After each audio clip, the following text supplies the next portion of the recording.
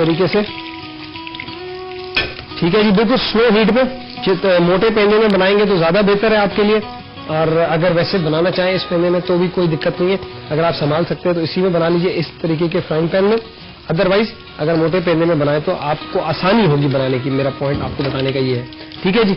अच्छा जी, एक अदद और कबाब हम इसके अंदर रखते हैं। आपने पहले अच्छे से मैश कर लिया ना जब आपने कीमे को। तो उसका फ़ायदा ये होता है कि टिक्की बनाते वक्त आपको बहुत ज़्यादा प्रॉब्लम या तकलीफ़ या दिक्कत का सामना नहीं करना पड़ता। आप उसको इजीली ऐसे प्रेस करके किसी भी तरीके से जो आपको सिंपल लगे, आप उसकी टिक्की जो है उसको बना सकते हैं। ठीक है जी, जितना पतला करेंगे, उतना ही क्रंची और क्रिस्पी उसकी बाउंड्रीज बनेगी और मज़ेदार जो है ना चटनी के बाद वो आपका बनेगा। ठीक हो गया जी? अब हम करते हैं जी स्लीन और फिर हम करते हैं तैयारी इनको करने की सर्व ठीक है जी? बाकी का जो मिक्सचर है, ये बनाएँगे हमारे इमरान साहब, और उन्होंने कहा, जी, आमिर भाई, मैंने सीख लिया है, और मैं आपको भी बना के दिखाता हूँ, ज़बरदस्त वाले स्लो हीट पे बनाएँगे तो ज़्यादा बेहतर है। लेकिन हीट को कंट्रोल करना, हमेशा स्लो हीट ही थोड़ा सा तेल को गर्म भी करेंगे, फिर तेल को स्लो भी करेंगे, जैसे आप फ्राइंग करते हैं बेसिकली तो हम पहले क्या करते हैं, पहले जो सारी चटनी है, उसको हम निकाल लेते हैं एक अच्छे से बाउल के अंदर। ठीक है जी? चटनी को हम एक अच्छे से बाउल के अंदर निकाल लेते हैं। ठीक है जी। और इस चटनी की तो जी खुशबू की क्या ज़बरदस्त बात है। बहुत ही ब्यूटीफुल चटनी है। और आप इसको इस कबाब के साथ एंजॉय कर सकते हैं। आपने दही वाली चटनी और हरी चटनी के साथ तो यकीनन कबाब एंजॉय किए होंगे। लेकिन आपने इस तरीके की चटनी जो है, उसके साथ कबाब आपने चपली वाले स्पेसिफिकली एंजॉय नहीं किए होंगे। ठीक है जी। इसके ऊपर आप धनिया, पुदीना सर्व कर सकते हैं थोड़ा सा। ठीक है जी।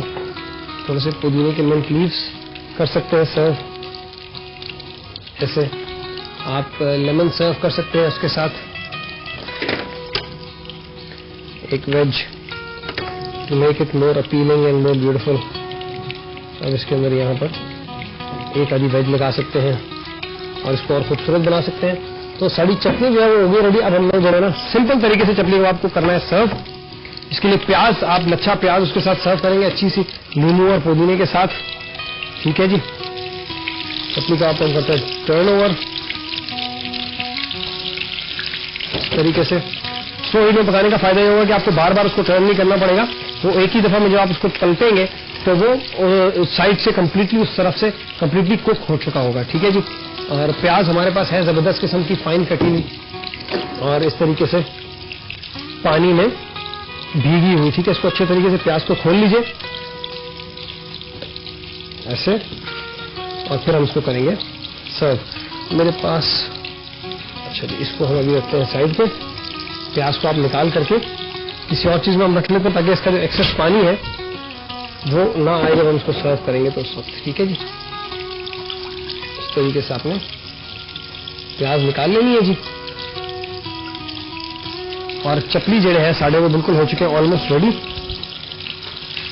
क्या करते हैं अब हम? इसको सिंपल तरीके से लेमन और प्याज के साथ इसको हम करेंगे सर्व ठीक है जी? कोई लंबे चौड़े चक्कर में आपको जाने की ज़रूरत नहीं है। और आप इसके ऊपर थोड़ा सा पुदीना या धनिया चॉप करके डाल दीजिए, जो कि थोड़ा सा आपको अच्छा लगेगा स्क्रीन के ऊपर। ठीक है जी? तो हमारे जो चपली के बाद वो बिल्कुल रेडी है। हम इनको कुछ इस तरीके से, कुछ स्टैक में सर्व करने की कोशिश करते हैं, अगर ये प्लेट में गिरे नहीं तो। ठीक है जी? और ये वाले गरम गरम जो है ना स्ट्रेट फ्रॉम द फ़ैन हम करेंगे सर्व फ्लेम हम कर देते हैं ऑफ़ इस तरीके से। ठीक है जी? और आपने इनको इस तरीके से यहाँ पे कर देना स्टैक ठीक है जी? और उसके बाद साढ़ा जड़ा कम है, वो हो गया ऑलमोस्ट एंड आपने इसके साथ लीमू सर्व करना है और प्याज सर्व करनी है लेमन के वेजेस ठीक है जी। और जो प्याज है, उसका पानी निकाल लीजिए। और इस तरीके से आप इसको सर्व कर दीजिए ज़बरदस्त सी बहुत सारी प्याज के साथ। ठीक है जी। लेमन ऑब्वियसली जाएँगे। बिकॉज़ लेमन के बगैर मज़ा नहीं और थोड़ा सा ग्रीनरी इसके ऊपर लाने के लिए आप थोड़ा सा धनिया जो है, उसको भी चॉप कर सकते हैं, या पुदीना। ठीक हो गया जी? और आपने इस तरीके से चपली कबाब को कर देना है सर्व तो यूर्स हमारे ज़बरदस्त किस्म के बेहतरीन वाली चटनी के साथ बने हुए। चपली कबाब बिल्कुल रेडी है। मैं उम्मीद करता हूँ कि आप लोगों को ये रेसिपी पसंद आई होगी। आप लोग इसको ज़रूर फॉलो करेंगे। और इसी तरीके के ज़बरदस्त चपली कबाब बना के अपनी फैमिली को बनाएँगे।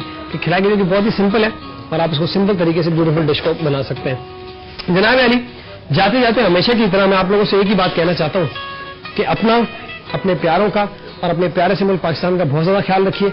मुझे, मेरी टीम को, हमारे चैनल को अपनी गाँव में याद रखिए।